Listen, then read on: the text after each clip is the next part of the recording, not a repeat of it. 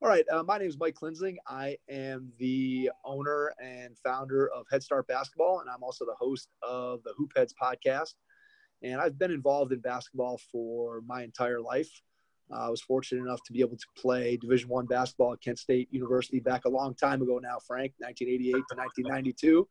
And after I got done playing, I uh, wanted to have a way to give back to the game and continue to be able to impact and, and use the game to, to do the great things that it has done for me in my life. So I actually had a friend who played basketball in the NBA. Uh, his name was Scott Roth, and he grew up in a community near me. And Scott had a basketball camp in my home community when I was a kid. And I worked at it, and I looked around and I said, boy, if, you know, Scott's here in my home community, and he was kind of a fringe NBA player. And at that point, he had although he had graduated from a nearby high school, he had been gone from the area probably for close to 10 years. And I thought, well, if he can get this many kids to come to his basketball camp, you know, my name should still be good here in the hometown. And so I'm, I'll maybe get it started. And so I ended up starting the camps. Actually, uh, my idea was to have it be sort of a neighborhood camp where kids could ride their bikes to their local elementary school and we do the camp. So the first year I did it, did the camp, uh, I actually did seven different sessions of camp at each of the seven elementary schools at the time that we had in our community. And that was how it started. And then over time, uh, we ended up consolidating and doing it for a time at the junior high and then eventually at the high school. And right now, I'm currently at the rec center. But most of my camps have been for youth players uh, who are in elementary school, uh, boys and girls. Uh, we usually do it co ed, although we have one week that is uh, strictly just for boys now that we added a couple years ago. And so that's been sort of the bulk of my basketball business uh, per se. And then I've added some other pieces to it along the way with some more training and other different things. And then about a year and a half ago, I believe it was last June of 2018, started doing a podcast, which is something that I've kind of had on my list to do for a couple of years, just because I spend a lot of time commuting to my quote real job as a teacher. So I spent a lot of time listening to podcasts. So I always thought, hey, that'd be something that I'd like to start and kept putting it at the top of my to-do list. Wouldn't do it you know, I'd cross it off and then I'd come back and rewrite it the next week and, and keep right. adding. And eventually, eventually we got around to getting it started. And we were fortunate right from the beginning to get connected to some really good guests. Um, Greg White from USA Basketball and Alan Stein, who uh, has a big internet presence. He's now into corporate speaking, but at the time he was uh, a basketball athletic performance coach. And those two guys both opened up their networks along with my own network. And through those three networks, we were able to really – grow the podcast and get some great people involved in it. So it's been it's been quite a journey. I've had a, I've had a great time doing the things that I do with basketball, and ultimately the goal is one to have a positive impact on kids using the game of basketball, and then two, from the podcast standpoint, I think we're really looking to impact coaches and players and parents to try to make their basketball experience better and really try to grow the game and help it help it improve. So that's that's kind of my backstory. Okay. Well, touch on a couple things you said. Um, as a former coach and a former camper and all that, um, and and like you said, a, a, few years ago was the last time I was at camp um, as a player. Uh, several few years ago. Uh, I know when you get together with coaches and teachers, and this is something my experience was that even if you didn't know them and you start sitting around talking about basketball, you're talking about hoop heads. It, it just what you thought was going to be a 30 second conversation ends up being like three hours. Absolutely. And that is the the joy I think of. I don't know if it works with all other sports, but I know when you're talking basketball, you can talk basketball with someone that has some knowledge about basketball for days. And, and so, from the podcast point of view, I can see how exciting that is. Yeah, it's a lot of fun. I'll tell you what we we actually started the show, so it's changed. The original format or the original idea that we had morphed very quickly. So when we started the podcast, we really thought my partner and I, and part of the problem with me getting it started was I tried a couple times to do it by myself, or it was just going to be me talking about a youth basketball topic. Right. So I thought I'll do a 10 to 15 minute episode, just me talking about something. And I found it for me, it wasn't as fun as having a conversation. And I didn't enjoy it. Like I thought, boy, I'm really going to enjoy podcasting. And when I did it myself and it was just me talking, I didn't enjoy it very much. Yeah. So that was my first attempt. And so then I started looking around for, all right, who can I get to be a partner, to be a co host, somebody that I can talk basketball with? And so I eventually found it in a friend of mine who actually had come to my basketball camp when he was younger. So he's probably about I don't know 17 or 18 years younger than me, somewhere in there. And so he and I have known each other for a long, long time. And then he's worked at my basketball camps in addition to having gone to them. And he had some knowledge of how to kind of get things set up on the tech side of it. So he ended up being a really good partner. So the original idea was for he and I to talk about youth basketball parenting issues and just kind of go through and talk and he and I having conversations about different topics. Like, for example, one of our topics was why you shouldn't coach your kids from the stands. Just let the coach, just let the coach coach and have the parents be quiet. So we would spend anywhere from 15 to 30 minutes, depending on the topic, talking about it. And like you said, it was very easy. What you would think would be a five or 10 minute topic very easily can turn into something much longer. But then, as I said earlier, what had ended up happening is we got connected to some really good people to do some interviews. And we kind of had it in the back of our mind that maybe we were going to interview high school basketball coaches here in the Cleveland area somewhere down the road. That was kind of the plan. And we had to figure out the technology of how we are going to do kind of what you and I are doing here, right. whether it was Zoom or we end up using Skype with the audio. But we had to figure out the process, just like I'm sure you did, how to make it all work and fit together. And I got a chance to get connected to Alan Stein through kind of a long story of me reaching out to him to see if he would write something for my blog. And he wrote back no, because he was changing from kind of the basketball performance space into the corporate speaking space. And so I happened to have a friend who was putting together conferences where he actually brought in corporate speakers and CEOs and people for these events. So I ended up connecting Alan to my friend. And when I did that, then Alan and I sort of built a relationship. And then he came on the show opened up his network. The week after we had Alan on the show, I went to a USA basketball coaching clinic. I met a couple other guys there, Greg White, Lindsey Huddleston, who came on the show. And those guys were just tremendous to me, opened up their networks. And what had been a show of Jason and I talking about youth parenting issues suddenly became Boom. an interview. Suddenly it became an interview show. Right. And like you said, one of the things that's been very, very fun is – to be able to have those basketball conversations where I used to coach in, the, in high school. I was a varsity assistant coach for 13 or 14 years at the beginning of my career, and I've been out of that space for probably about 10. But one of the things that I always tell people before I started the podcast that I really missed was the conversations in the coach's office after practice, right. after games. Right. Those are the things that I missed. And so this podcast has really done a great job of replacing that basketball talk and that opportunity to be able to talk to great people. And so, yeah, we find that uh, we'll do a lot of shows we'll, we'll talk to a guy for an hour and a half and I'll won't even look at the clock once. And all of a sudden I'm like, yeah, I think we better start wrapping this yeah. up. We've been talking for, we've been talking for 90 minutes.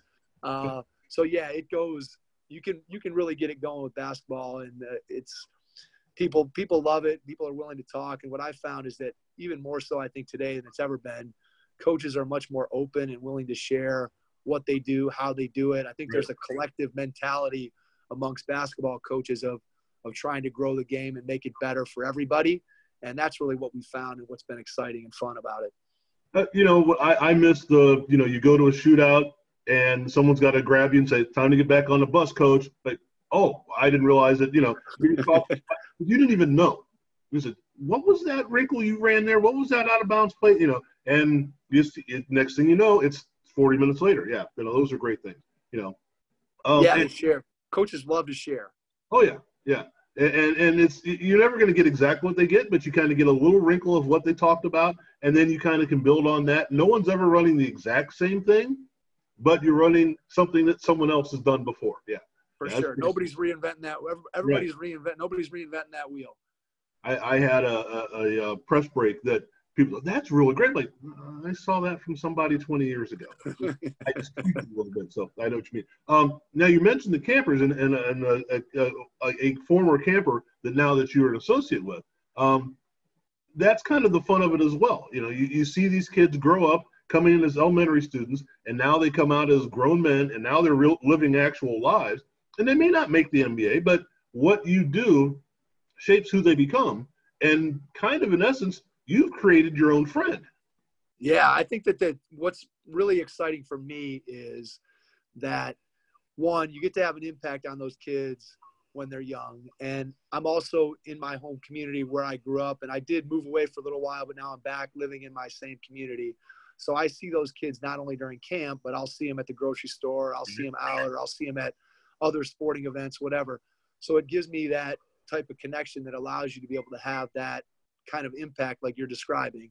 And then one of the nice things that I've always been able to do with camp is if you come to any session of one of our Head Start basketball camps, what you find is that a lot of the staff members, especially ones who are high school and college age coaches, those are kids who have, who have previously come to camp or worked with me. So they already know what the experience is like. You hope that the reason why they come back is because it was a positive mm-hmm, experience right. for them when they were a camper, and then they want to give back and be able to do the same thing. So that's one of the things that gives me more pride, more more pleasure than anything else is the fact that you've created something that now has not just impacted those kids in the moment, but 10 years down the road, 20 years down the road, 30 years down the road, when those kids think back to the experience that they had in camp or the relationship they had with you, it's still having an impact on them years and years later. And to me, that's something that I don't know if I thought about that as much when I was younger, but for sure, as I've gotten older, that's become more and more and more important to me is how am I using the game of basketball to impact the players, the kids, the coaches that I'm coming in contact with so that not only am I directly impacting them in the moment, whether that's through a game and trying to win or that's through camp and trying to give them a great experience, it's five years from now, 10 years from now, are they going to remember those things? And, and is it going to make them a better person? Because ultimately, you know, you just said it. Most of them aren't going to make the NBA, and the odds of you as a basketball coach, trainer, camp organizer having a kid that gets to the NBA is pretty small. Oh. So what you want to do is be able to make sure that you're having a positive impact so that those kids, regardless of what they end up doing, whether they end up staying in the game of basketball in some capacity or they end up being doctors or lawyers or, you know, mothers, fathers, you want them to be impacted by what you did so that they can have a better quality of life. And, and when they come back to you, whether that's coming back to look for an opportunity to coach and work at the camp or whether that's just a phone call, there's nothing better as a coach than hearing a voice on the other end of the phone line 10 years down the road. Hey, coach, I just wanted to tell you that this is what happened. Or, hey, coach, I'm getting married. I want you to be at the wedding.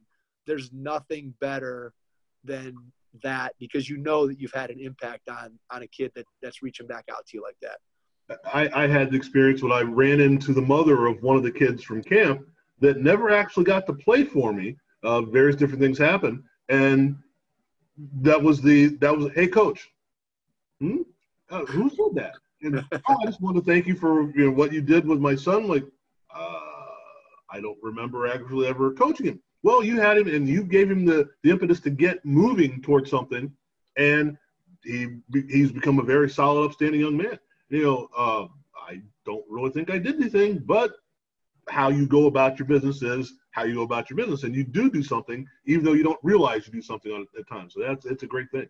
Yeah, I think that's a huge point. That whenever we're talking to coaches and thinking about who my audience is for the podcast, that's a point that I always try to bring out. And I think as a teacher, you try to remember this too, and even as a parent, that a lot of times the things that we say or the things that we do, the things that we model, we don't even realize that those things are sticking with kids. Like you said, you might have a kid that comes back to you, and I've had this happen to me where a kid comes back and says, Hey, coach, do you remember when you said such and such? And I'm like, No, I have no recollection of saying that. And yet, here's something that I said 10 years ago that a kid remembers that they're still thinking about. And those are the kinds of things that I think sometimes as coaches, teachers, parents, we take for granted the power of our words to have an impact because there might be things that we that we plan or that we think about boy i know this is going to be impactful and this little talk that i'm going to give or this action is going to really be important. But a lot of times it's the little things. It's the arm around a kid's shoulder as you're coming off the floor. Or it's a right you know, a little prize that you gave them after they won a contest.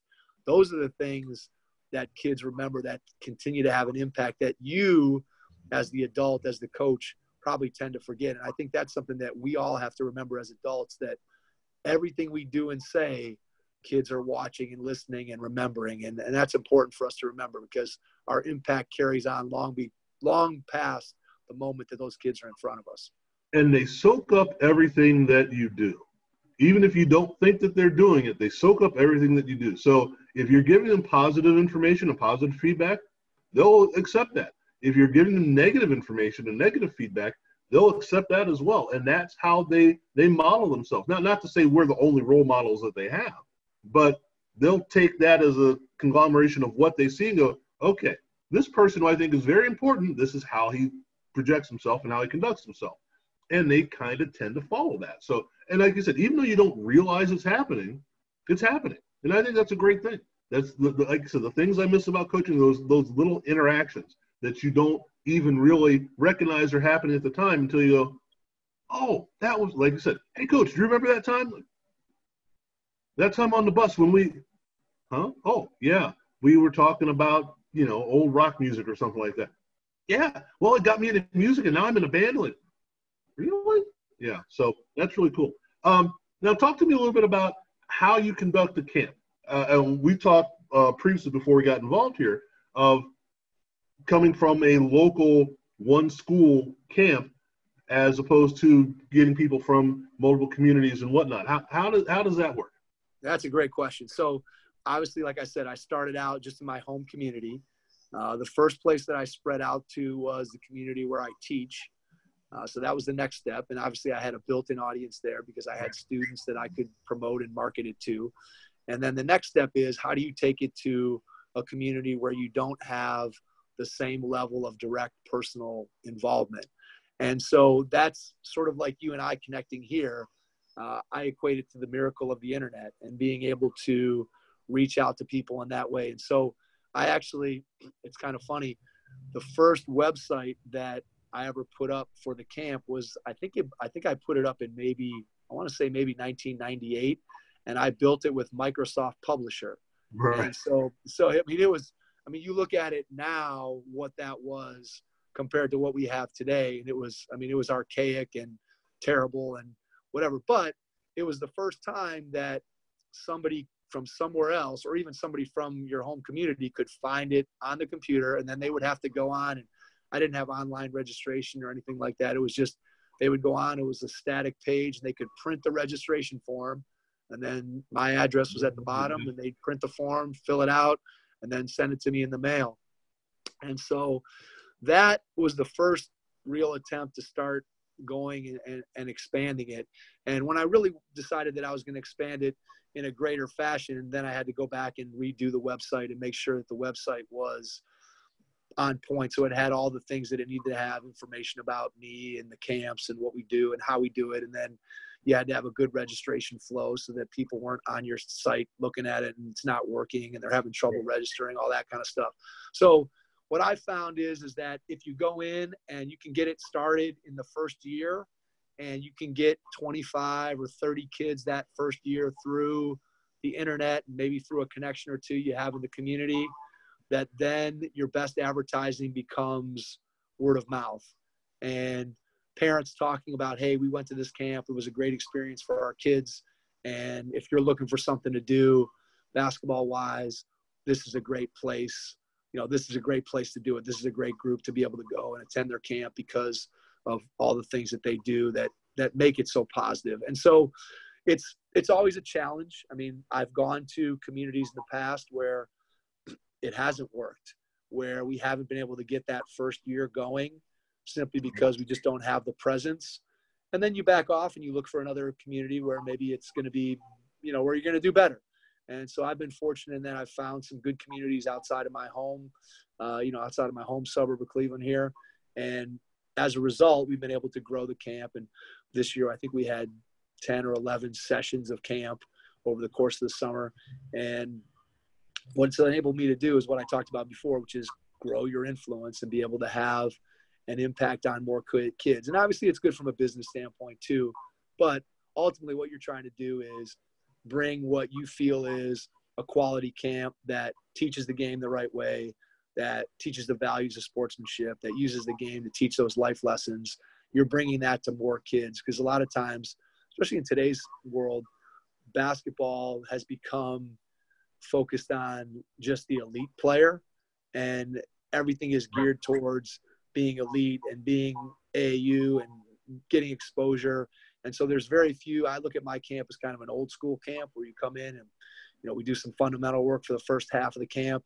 And then the second half of the day, we're doing some games and we're doing some contests, but it's focused on teaching and it's focused on learning the game and, and making sure that it's fun for the kids. If you're a, if you're a third grader and you're just kind of getting into the game of basketball, you want to go to a camp environment where it's fun.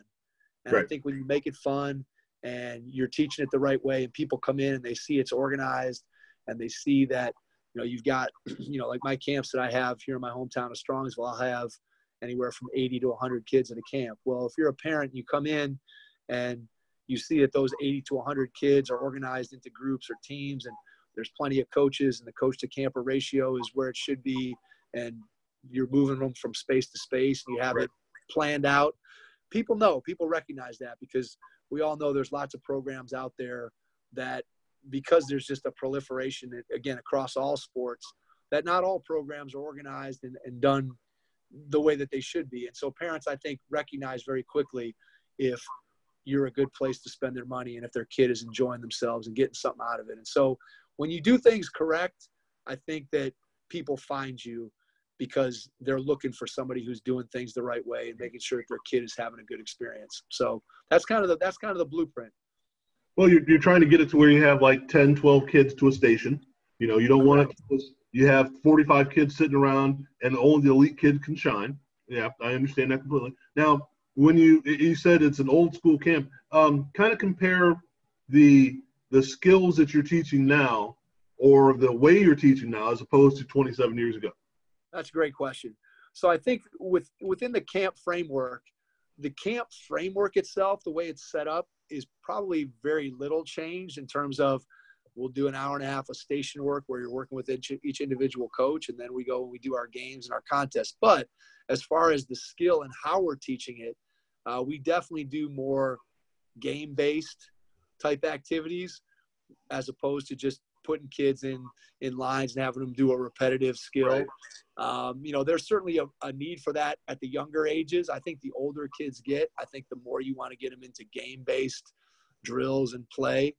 I think for younger kids, there's still a need for that repetition as as they're learning the game. But certainly, what we've done and what we've tried to do within our stations has changed as I've gone out and observed other camps, as I've watched other coaches. I think one of the big things that always comes across with the guests that we have on our Hoop podcast is the number of coaches who talk about how important it is to continue to learn the game and understand that I don't know everything about it. And there's somebody out there, just like you mentioned earlier, there's somebody out there that's doing something slightly different or slightly better or just in a way that you hadn't thought of. And so that's one of the things that I try to do is anywhere – that I go, whether it's another camp, whether it's a clinic, whether it's just listening to people talk on the podcast. I try to take ideas, write them down in a notebook, and then go ahead and go back and apply those ideas to the camp. So I would say for sure there's been changes over the years in terms of how we've gone about teaching the skills,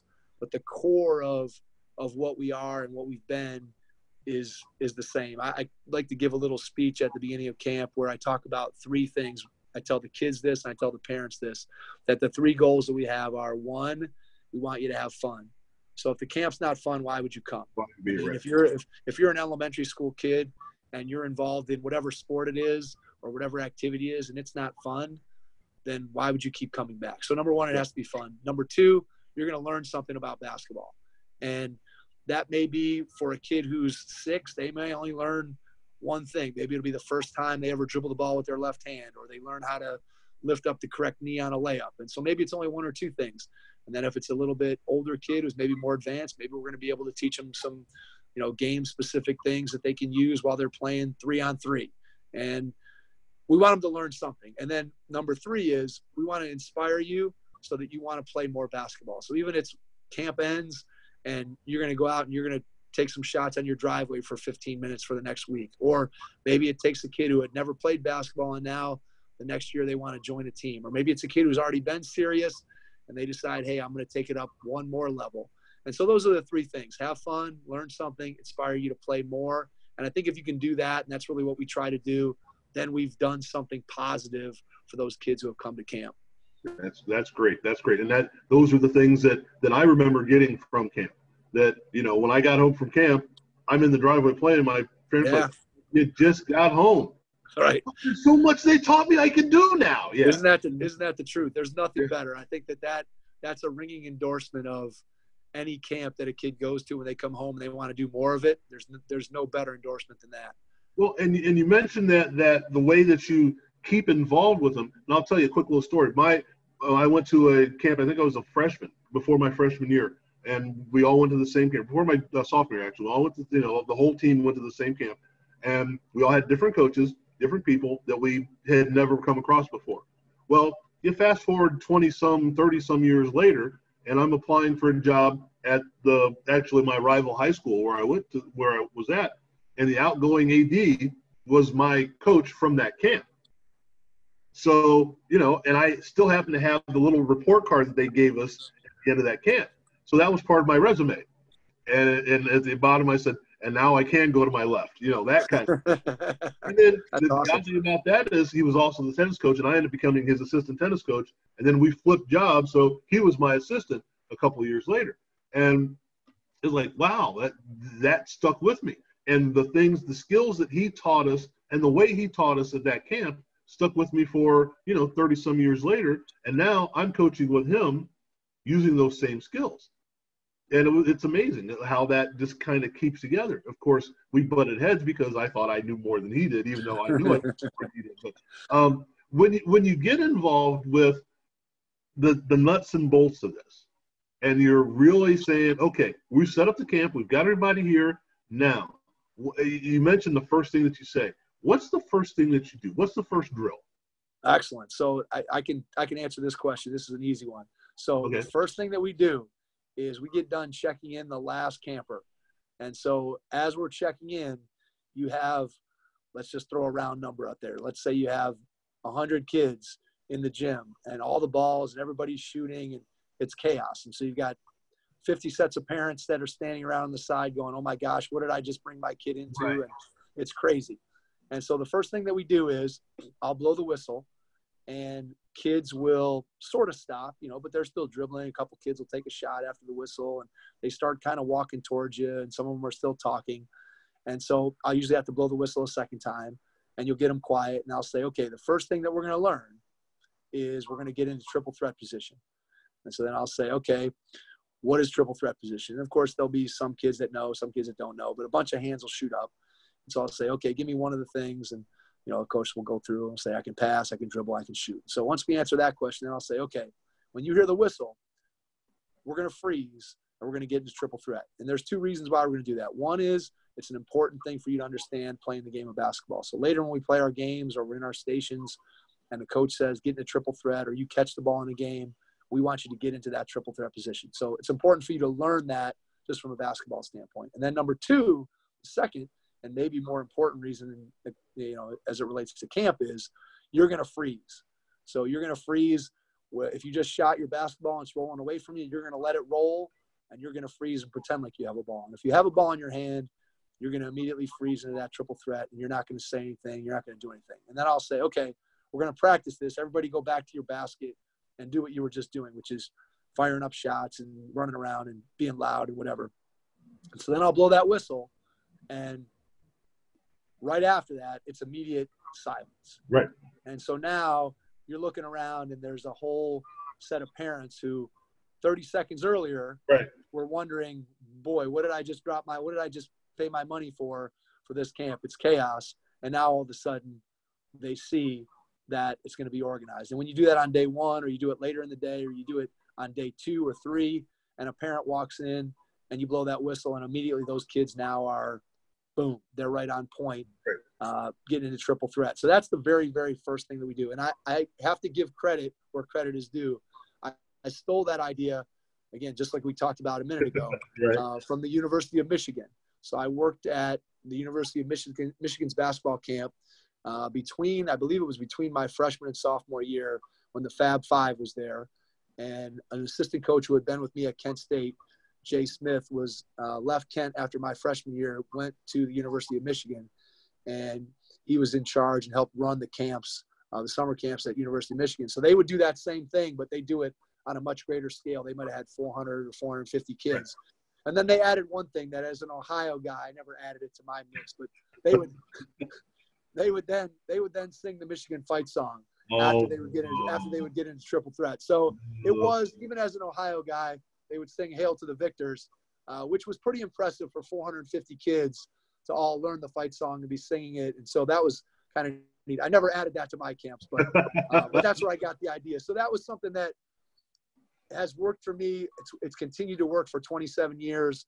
And even though it's not, it's not a drill and it doesn't directly answer your question, that's the first thing that we do every year because that sets the tone for how the rest of the camp's going to go and it's how we keep everything organized. Well, it, it actually it, it, answers the question exactly because my thing was, you know, in, in a, the same kind of things like, okay, when I talk, you don't.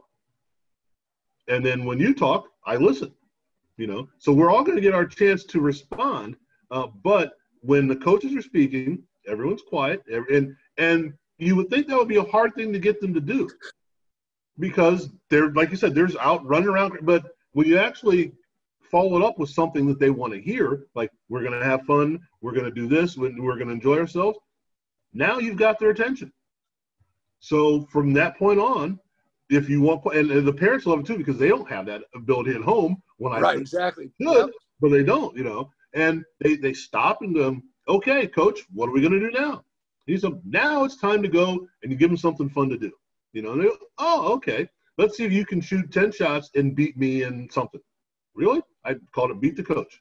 And you know, sometimes it did, sometimes it didn't. You know, sometimes I might miss a shot or two on purpose just to see what would happen. Right. And they're like, I beat the coach. I beat the coach. Okay, and they're they're excited. So and that level of excitement, like I said, that carries on and carries over for for decades. It's it's really amazing. So that that to me is you've got it right. You've got it right on the nose. That you know you you you combine the learning and the development with enjoying yourself. And triple threat position, hey, you've got to be in triple threat position. You, you've got to know that. Those are things that you have to know. And now they know it you won't ever have to go back to them 10 years later and go, you got the ball ripped from you. Why? You know, that's something. I've been doing that, been doing that for six years at Head Start basketball camp. Right. Every day, every time that whistle blows, I got to get in triple threat. And I forgot to. Do. How did you forget to do it? And one thing I've noticed, and correct me if I'm wrong, one thing I've noticed in watching people that haven't, like you said, you've got the elite camps that are more play camps and there are teach camps or learn camps, is that, you know, this is a generalization, but I've seen that those basic fundamental fundamentals are not either being taught or being enforced. Yeah, I think there's definitely been it's it's tough. I think kids at younger ages today they're playing more than they ever have.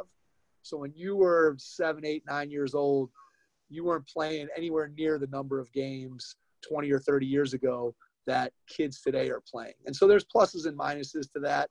Um, you know, I mean, again, I don't want to sound like the old get off my lawn type guy, but I like I like the system that I grew up in, where I was playing with my friends on the driveway, and then eventually I was playing on the playgrounds and playing against people of all different ages, and there rather than playing with a ref and against my right. own age group and with a coach and my parents in the stands.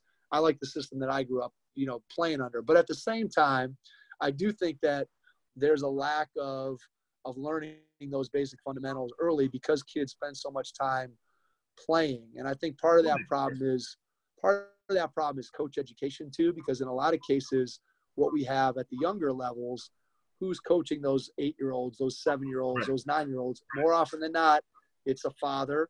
And sometimes the fathers know a lot, sometimes they know very little. And obviously, every organization out there needs at some point volunteer coaches to help them. But what I think we should do a better job of is offering them coach education and right. being able to show them, hey, here's the things that you should be teaching. I know USA Basketball has their standards that they put out that they do a really great job. So if you are a volunteer basketball coach out there at any level, if you go to the USA Basketball website and find those USA Basketball youth guidelines, those are tremendous for learning what you should be teaching at what age.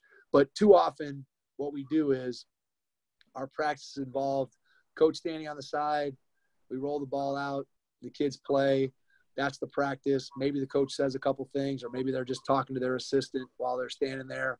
And then you go play some games on the weekend with your uniform. And that is a lot of times what you see. And so, and it's not that those coaches aren't doing a good job or don't want to be the best coaches that they can be. A lot of times they just don't, they just don't know.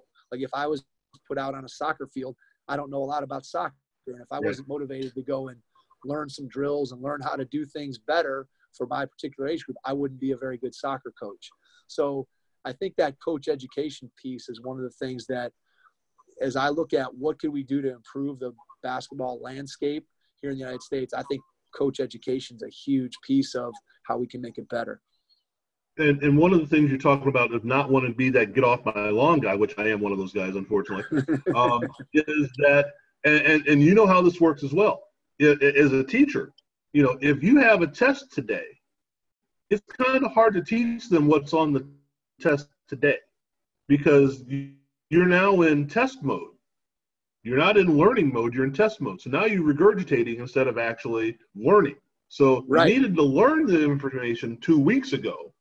Now, when you're taking the test today, you take the test. Well, if every time you're involved in basketball is a game and it's you've got the referees and keeping score, I can't change your shot today because I can't work on the nuances of how do you get in position, how do you front this person, how do I do that? Because you're playing today. I don't want you thinking about all that, or you're not capable of thinking about all that because now you're playing. And you know, when you're coaching in a game, you're sometimes giving instruction, but you're really just reiterating what you've talked about throughout the course of the, the week or the month or, or whatever. Say, now remember, when he's trying to get here, you want to get this leg up or this arm there, but you're not teaching them something new. I've learned that the hard way, trying to put in an out of bounds play that I made up on the spot, and everyone went four different directions. Like, yeah. well, it was pretty simple. We never run it before. Well, you're supposed to go from there to there, but I've never done it before. You can't teach on the fly like that. So that's what I see happening in in these play as opposed to learn camps. And then, unfortunately, as you said, with the elite players, that's all they're involved in. So, are they learning how to play? When do they get taught? And I agree with you. It's something. It has something to do with the coaches, but I think it also has something to do with when do we teach them? And yep. and I, I agree. Ohio is different than it is. I'm out in the West now, where it's you know it's open season. You can transfer from here to there or whatever, which I find very very disheartening. But it's you don't even get that downtime to learn from a camp or from an off-season program or open gym or anything like that because you're moving along with playing again. If I don't get playing time, I transfer someplace else. Wow, that's kind of tough. So yeah, I am sorry, go ahead. No, I agree with you. I think there's a lot to unpack there in what you said. One is the ratio of games to practices. I know that almost every coach we talk to from the high school level, college level, they all talk about we need to be spending more time in practice and less time playing games. And I think you made the best point about it because one of the trends is in basketball today and coaching is to do more games based coaching where I'm doing a drill and the, the drill is based on it looks more like a game. It has an offense and a defense. Right. And I'm still teaching a skill within that drill as opposed to just me going against a cone or me just repetitively shooting.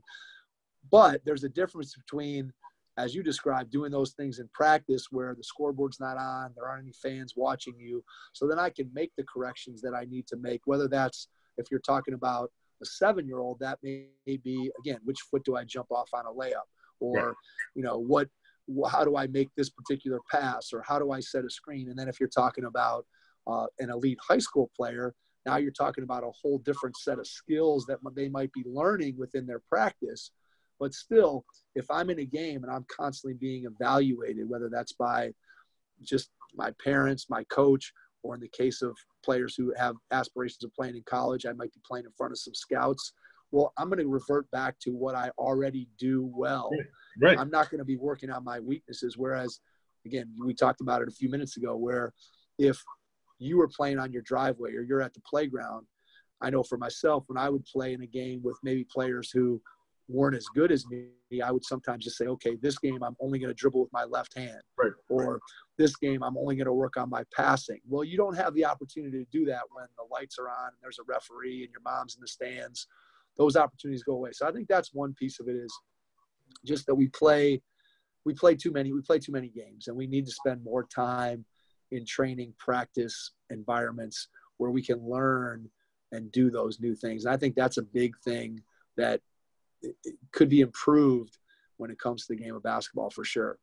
Well, you know, I when uh, the Ohio High School Athletic Association went from 20 games to 22 games in high school, and everyone was well, not everyone, a lot of people were excited. I'm like, no, that's not good, because that's one more game that we don't have a chance. We we've got a scout for, we've got a game plan for, two more games. I'm sorry, and then what happens when, and you know, being where you're from, what happens? The weather kicks in, and now you've got to mess up your schedule because now you've got three games in four days or however it works out. Well, you're not able to have a practice to learn anything because now you're practicing for the game plan.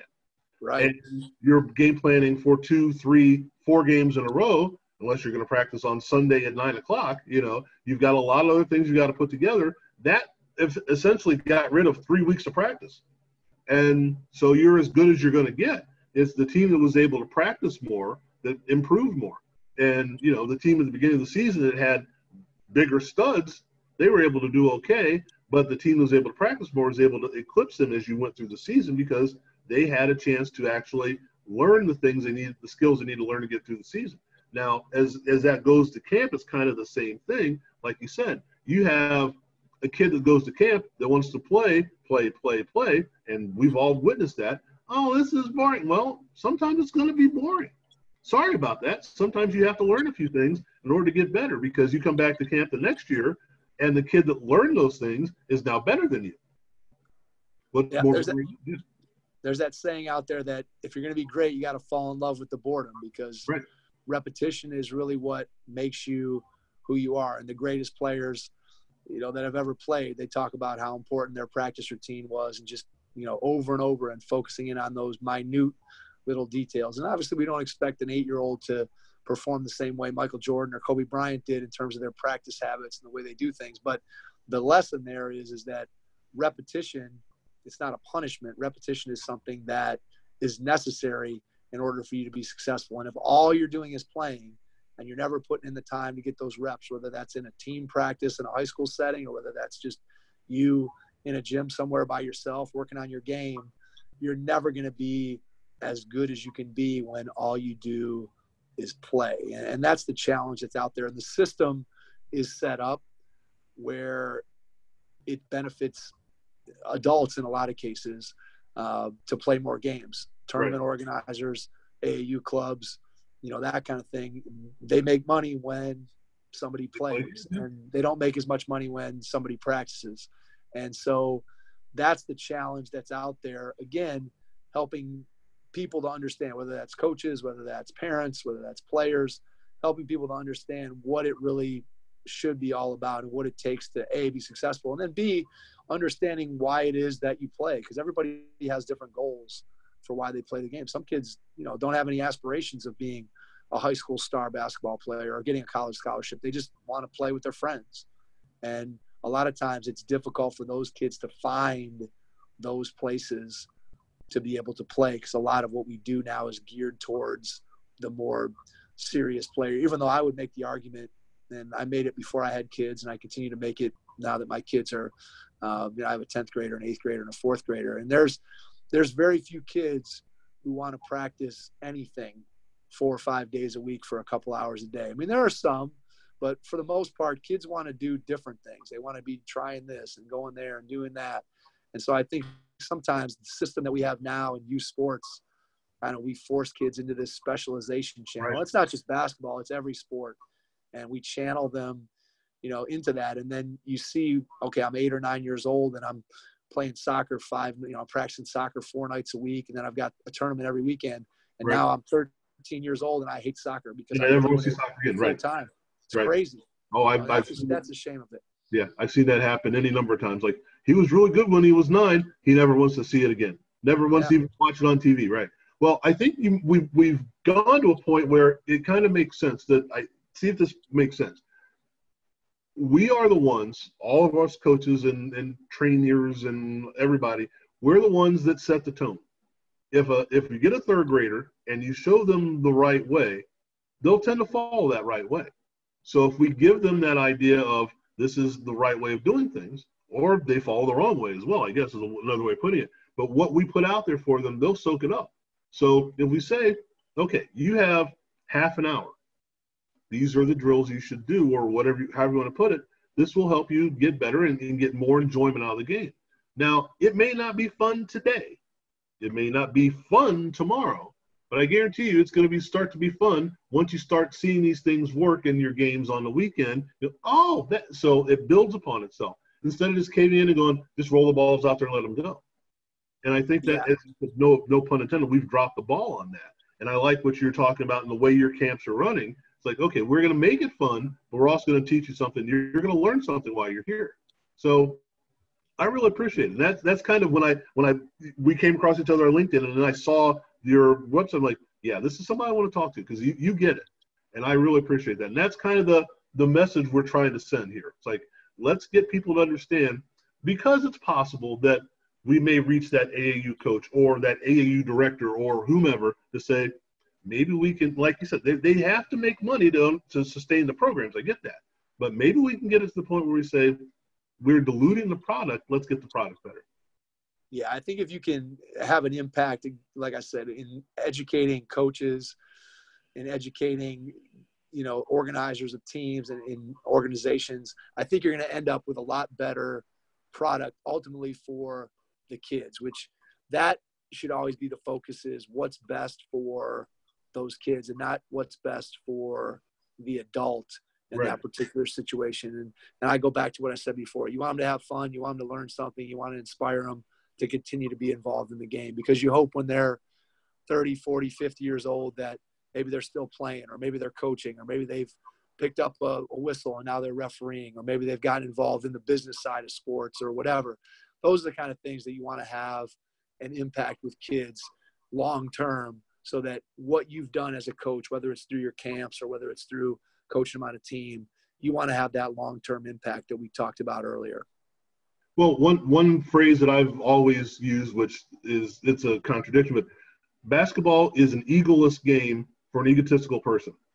That you have to believe that you can do the best you can by doing the best for everybody else.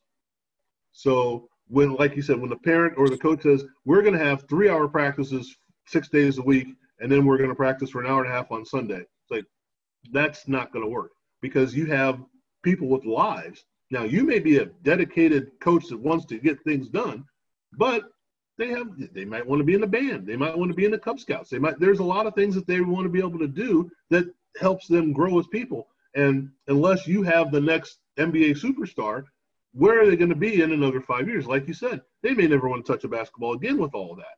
So you have to be ego driven as a coach or as a teacher, but also ego driven enough to know that you've got to give more. Yeah, it has to be balanced. And I think one of the things that we've talked to a bunch of different coaches on our podcast about is the the idea that whatever decisions are made about what the kid is participating in and I'm I'm speaking more here maybe from a high school perspective of the kid being able to make their own decisions at a younger age you know obviously the parents are going to be more involved in the decision making process but you want the decision to play multiple sports or play one sport to be directed by the kid and not by the adults that are involved. So if I'm a kid and I'm a basketball player, but I also want to run cross country, I shouldn't have the basketball coach coming to me and saying, if you play cross country, you're not going to make my basketball team. Right. You know, it's one thing if I'm a basketball kid and I decide on my own that I'm not going to do any other sports, I'm only going to play basketball terrific. As a basketball coach, selfishly, I'm excited when a kid comes to me and tells me that because I want them around doing the yeah. things that that we're going to be doing. But the problem that I always have is when the adult coach goes and dictates to a kid, "Hey, if you want to be part of our program, then you need to be doing these things related to my program right. at the expense of you participating in something else." And again, the odds are so stacked against a kid ever being able to make a living as a professional athlete and even if they do, what's wrong with being a well-rounded person as, as, a, as a professional athlete? So the best of the best are going to get there because they want it, not because of what some adult, whether it's their parent or their coach, said to them or forced them to do. The the best of the best get there because because they're driven and they want it internally. It's an intrinsic motivation as opposed to extrinsic. And and you and you you said you use the right terminology there. You have to come to be in my program. Well, it's not my program, it's our program. You know, I was an athletic director. It wasn't my athletic department, it was our athletic department. You know, it's kind of hard to do it that way and, and to say, you know, well, you need to be part of my soccer team. No, it's not mine. It's yours. I'm part of it. It's ours. And and again, that's an ego-driven person that has to be not egotistical, because sure. you have to understand. I mean, if if say, let's use the high school example again. Say you're a great high school coach, but you have no one coaching or participating in the lower levels. Well, in another five years, you're not going to be a great high school coach. You know, that let's face it, you're not going to, if you don't have people that are skilled and involved in what your program does and what our philosophy is, well, you can only be as good as the people that are surrounding you and the people that lead them to you. So unless you're just going to get a bunch of transfers to come in and play and then go you know, so that's you know, it's it's a it's a tough way to go. But again, talking about where you're developing kids from your camp and what you're doing, I, like I said, I, I see it as a lot of positives, and I not only the positives, but it's because, as you said, they're not just going to become great basketball players, but they're going to become better people, and they have a great experience. So I, I appreciate you being on. It, it, it's like I said, I, I'm one of those guys that give me a chance to talk basketball with somebody, and it'll be six hours later before I stop. so I'd like to be able to revisit this at another time. Uh, yeah, absolutely. Great. Um, to kind of get a little more specifics on how people can find your camps, and then you know outside of the Strongsville area, maybe you know maybe something grows from there. Yeah, I would love that. It's been a pleasure. I appreciate you reaching out to me. It's always great to connect with like-minded people and have an opportunity to talk. And like I said, my goal uh, as I get older is to continue to grow the game and give back. And because it's the game is, of basketball has been great to me, and being able to reach out and talk and have these kinds of conversations is really what uh, you know what I'm all about at this point. So it's been a pleasure. I appreciate you reaching out and giving me the opportunity, and hopefully everyone out there was able to find some value in uh, in our conversation today. Great. So if you would give the people an idea of where to find you on Hoop, uh, Hoopheads and then uh, camp information as well. Absolutely. So uh, the camp website is headstartbasketball.com and you can find out all the things that we're doing there from a basketball camp standpoint, training, all the different programs that we have. We also have on there. Uh, there's a blog that uh, there's a lot of backlog of articles that since I started the podcast, I haven't written nearly as much, but there's a lot of good stuff for both basketball coaches, parents, and some player stuff on there as well. So that's headstartbasketball.com. And then the podcast is called the Hoop Heads Podcast and that's available on all the major podcast apps. So you can find it on Apple Podcasts, you can find it on Spotify, Stitcher, SoundCloud, Google Play, YouTube. It's on all it's on all the big ones. And then we also have a website where you can go back and find all our old episodes, and that's hoopheadspod.com. And so for anybody who's out there that uh, if you're a basketball coach or you're the parent of a basketball player, uh, or you're a basketball player yourself, we have we've had some great guests on there. There's I think we're up to 170 episodes. So there's a lot to go back and listen to, and uh, we have a lot of fun with it. And hopefully, uh, if you check it out, uh, you'll enjoy uh, some of the basketball conversations that we've been able to have with some some really quality people, both well known and some guys who you probably have never heard of that were equally as insightful as the guys that we've had on that everybody knows their name. So thanks for the opportunity to share. And if anybody has any questions for me, uh, my email address is headstartbasketball at usa.net. That's the easiest way to to reach out to me. Okay, thank you, sir. I appreciate it. Like I said, it's, Absolutely. it's great to talk basketball any time of the day with anybody, but it's better to talk with you. Yep, appreciate it, Frank. Thanks for the opportunity to come on. Yep, absolutely. Thank you. Mm-hmm.